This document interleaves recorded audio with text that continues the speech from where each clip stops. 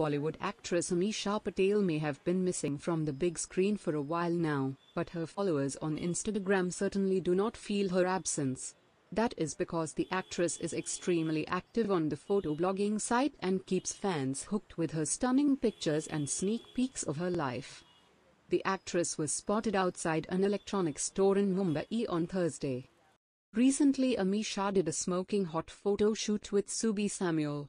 She has been sharing one sultry snap after the other from the shoot, and while several compliments have poured in, the pictures have also attracted the attention of trolls. In the most recent pictures posted by Ameesha, she is dressed in a white full-sleeved crop top tied into a knot above her toned abs and denim shorts. Trolls attacked the actress, calling her auntie and asking her to act her age.